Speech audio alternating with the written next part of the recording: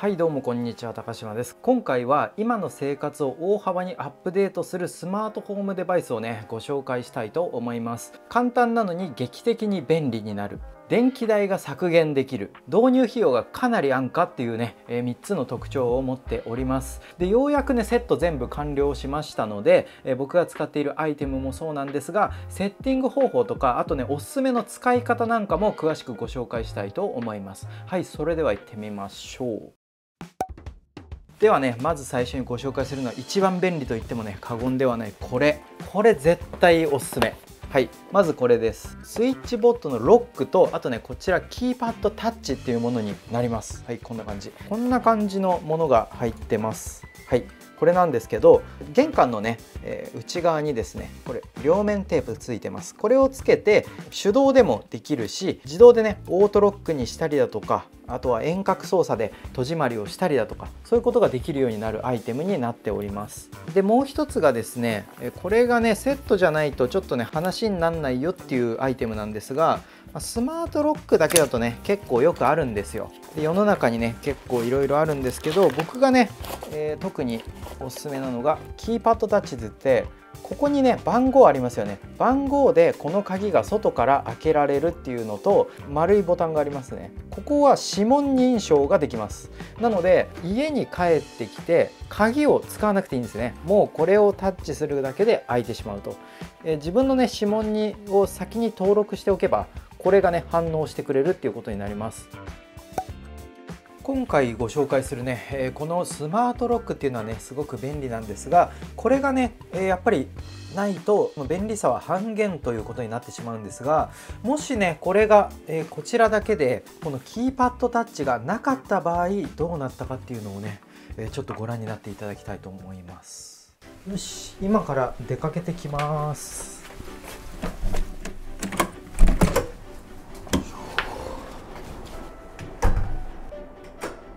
あマスク忘れたなあオートロックで締め出されてしまった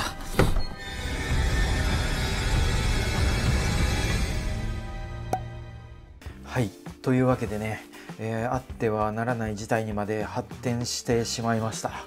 えー、というわけでね、えもしね、えこれがあったらどうなったかっていうのもね一応ねご覧になっていただきたいと思います。よし今から出かけてきます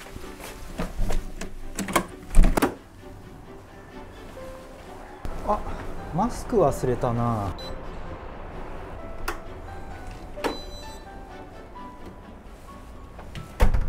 はいというわけでねこちらのねキーパッドタッチがあるおかげで命をねこう紡いだというところまでね、えー、なって変わってくるんじゃないかなというふうに思います。僕がねやってるおすすめの使い方としてはオートロックをまず使ってます。鍵のかけ忘れ対策になります。例えばね鍵かけ忘れたかなどうかなっていう風にね思って外出している不安な時ってあると思うんですがそれがねなくなります。開けた数秒後に閉まるっていうこともできますしあとね5分とか10分とかね自分で分数を決めてオートロックのね設定をすることができるんですよね。僕の場合は3分に設定してます。3分だと荷物のね受け取りとかありますよね。そういった間に閉まらないようにですね3分にしてます。でもしね鍵かけ忘れて家を出てしまっても3分後にはね鍵が閉まるので結構ね安心感もあります。でこちらの取り付け方は自宅の鍵の大きさをですねえー、チェックしてみてください。鍵の大きさって結構家によって違うんですけどこのねつまみの部分が薄いタイプと中ぐらいのタイプと分厚いタイプが大体あるんですよね。僕の自宅は厚みがあるタイプでしかもですねこの押しながら回転するっていうね作業が必要なものになっているんですがこちらの厚みのあるパーツを取り付ければね普通に使えることができました。ほとんどの方はこの3つで対応できるんじゃないかなっていうふうに思います。それとですね鍵の高さがあるんですよね。僕の場合は横のスペースが空いてましたので横に貼り付けました。高さの方も調整することができますので自宅に合った高さを測ってそこでね固定することができます。取り付けとか設定の方法に関してはアプリでガイダンスの動画とか説明の画像とか文章がありますので説明書もなくてもアプリの言われた通りに設定していけば簡単に取り付けることができます。キーパッドタッチの方なんですがこちら外に取り付けたいので賃貸の方とかあとマンションの方とか外のね外壁に傷はつけられないので両面テープで対応することができます。ちなみに両面テープで、え以前ね住んでいたところをつけてみたんですが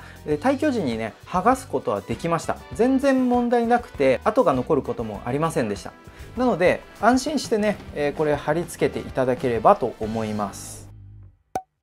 続いて、えご紹介する2つ目おすすめなものはこれはね、えー、ぜひ使っていただきたいというのがこのボットですね。でこちらはですねどういうものかっていうと見た目としてはこういったものになります。ここでね、えここにボタンが押してくれるものがあるんですよね。これが、えオンにするとパチッとなってオフにするとパチッと戻るとかね。あとは毎回押すとかね。いろんな設定ができるんですけどスイッチに合わせてこれをね取り付けてあげればいいかなと思います。で実際ねこれ何の時使うのっていう話なんですけど僕がね使っているやり方としては床暖房が、えこのマンションにあったんですけどこのねオンオフが、え部屋の一番奥に、えスイッチがあるんですよね。もしもこのスイッチボットがなかった場合どんなことが起きているのかご覧になっていただきたいと思います。よし寒いから床暖でもつけるか。へえちょっとでもあそこまで遠いな。あ引っ越しの荷物がたくさんあって近づくことができない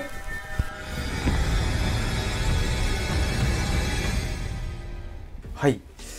あってはならない事態にまで発展してしまったわけなんですが、えー、もしねこのスイッチボットがあるだけで、えー、こういったね問題がなくなるっていうことが言えますよね。よしちょっと寒くなってきたので、えー、床暖房でも。うーんこれじゃ近づけないなあそうだ。こんな時はこれで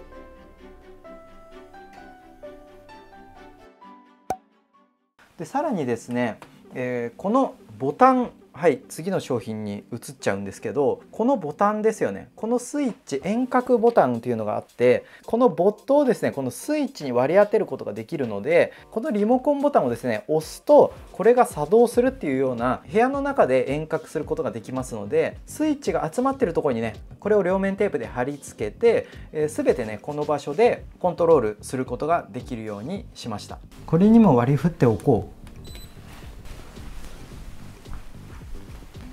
これかなり便利なんですよね他のやり方として僕はねロビーからオートロックを解錠できるようなことをねこのボットで、えできるようにしてみましたこのマンションの中にですね入るためには鍵を持っているかその住人のですね解錠ボタンが必要なんですよね。えっと僕このスイッチボット2つ使ったんですけど部屋番号を押してピンポーンってなります。そうすると中の人が会話するボタンとあとね解錠ボタンのね、え連続で押す必要があるんですよね。なので僕はボットを2つね設定してシーンで登録っていうねえスマホでできるんですけど通話と解錠をね設定することにしました。でこの順番に登録すると登録した順番に通話ボタン解錠ボタンって押してくれるので遠隔でマンションに入ることができるようになりました。で万が一鍵を持たずにね出かけてしまったっていうことでもスマホさえあれば部屋の中に入入れるっていうような、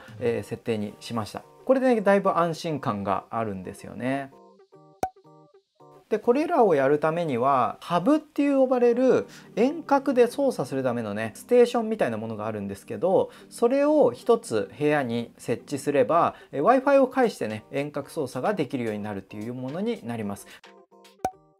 続いておすすめなのが、えー、ミニプラグっていうこういったものになります。これはねすごくね簡単なものでこんな感じでコンセントの差し込み口があってコンセントを挿す側もあるんですね。なのでこれを挿してあげるとここに挿したものがスマート化するっていうようなものになります。こういったねアナログなアイテムでもえここでね管理することができるんですよね。これでね一つこれで今指示を送りました。はい消えました。このねプラグを使えばこういったねアナログなアイテムもスマート化することができるわけなんですよね。はい。こんな感じで僕は使っています。はい。こんな感じになります。僕はねこのプラグの使い方としてはいくつかあってまずねえー、植物育成ライトの管理に使ってます、えー、もしねこれなかったら、えどんなことになってしまうのかっていうのをね、えちょっとねご覧になっていただこうと思います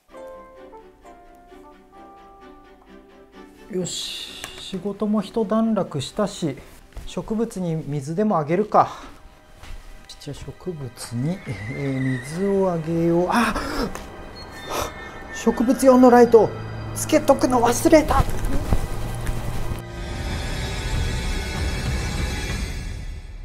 はい、えー、あってはならない事態にまでね発展してしまったというねとんでもないことになってしまったわけなんですがこのプラグでねスケジュール機能っていうのを使ってこれをですね朝8時につくように設定して夜8時とかにね消すような設定ができます。こちらを一つね導入していただくだけでもう全てねこういった問題がクリアになるというようなものになっております。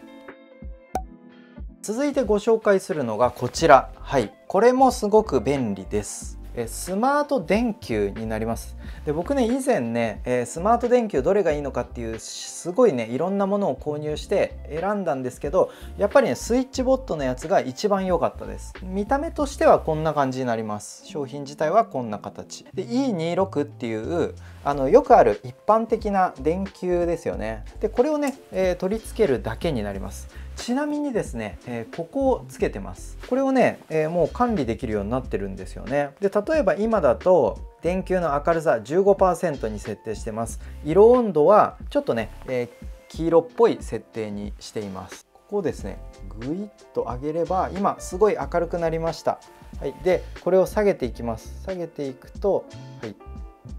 暗くなりました。で色温度の方も黄色っぽい光から白っぽい光にこう設定できたりします。これ白いですよね。これ青白いぐらい白いですよね。設定を保存できますんで黄色っぽくしたければこれを押せばもう OK ですね。黄色っぽくなってきました。調光もできますし色温度の設定もできます。まああんまりやらないんですけどカラーとかもねできるんですよね。こんな感じで。はい。緑にしたり青にしたりとかね。あとはねこれあんまこれ本当にマジで使わないですけど音に合わせてねこんな感じで声を検知して光にね反映してくれるっていう謎の設定もあります。本当に使わない機能ではあります。普段はですね、えこんな感じで設定してます。で明るさはねまあ、ちょっとそんなに強くなくていいかなみたいにしてますね。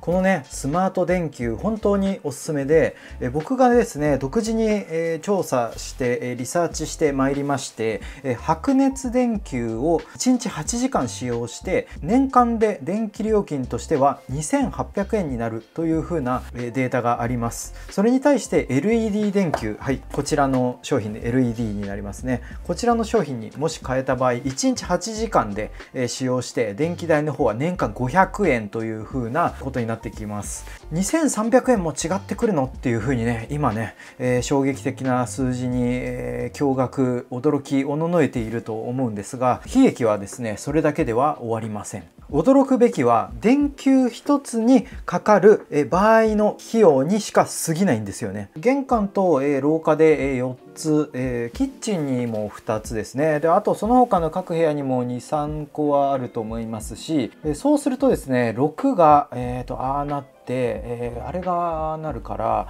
えー、願いましては、えー、かけることの2300円なりで、え年間を考えると、え少なくともですね、え20個はあると、え想定しまして4万6000円というような数字が出てきます。人生を考えるとですね70年80年ね生きるというふうに仮定しましてまあ死者誤入も相まって約100年人生100年時代というねことを考えると460万円ということになってくるわけなんですよね。これはね、え、数字を突きつけられてね、ようやくね痛感されたと思います、え、まあただこれに変えるだけで障害年収はですね460万円アップしたことになります、えもしね知人友人のお子さんが生まれた際にはそのお祝いにはね短期的な目線で子供服とかおもちゃとかねそういったものをあげるのではなくて長期の目線ですね投資として本当にその子の未来をね明るくしたいというふうに願うのであればこのスマート電球をですねプレゼントしてあげることで少なくともその子のね将来のお金の心配がね軽減されることをですね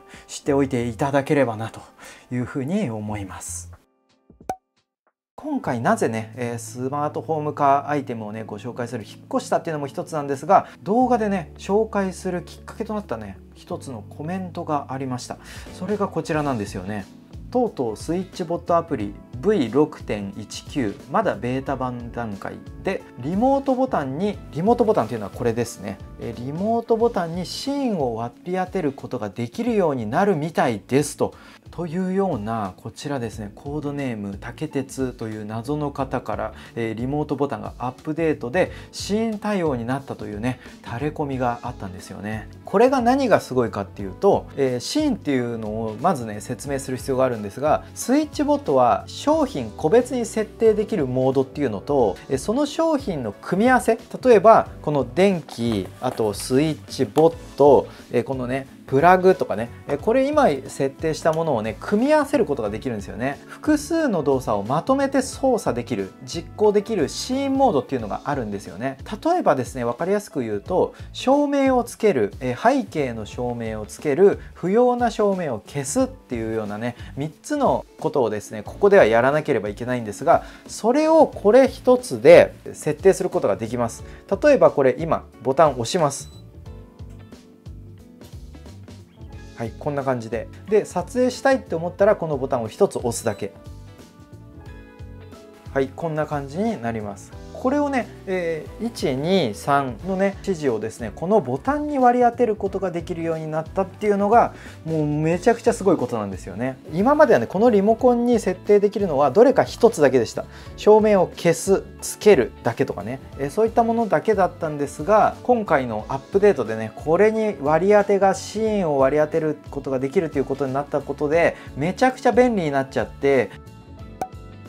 1点1点はね安くてもですねこれね数千円で購入できるものなんですがまとめて購入するとね結構な額になってしまいますよね。ただね今回ですねすごいタイミングを見計らっていました。Amazon のねブラックフライデーというね年内最後の大型セールっていうのが11月25日の金曜日から12月1日までね限定でスイッチボットシリーズが最大で35%オフで購入できるっていうことなのでものによりますが、まあ、かなりね安くなってると思いますのでスイッチボットをねいろいろ試したい、えー、このやり方ありだなと思ったものがあればねいくつかね、えー、導入してみるのおすすめかなというふうに思います。スマートフォーム化便利なのでぜひ試してみてください。はいというわけでインテリアやライフスタイルについてまたこちらからお送りしたいと思います。はいそれではまた。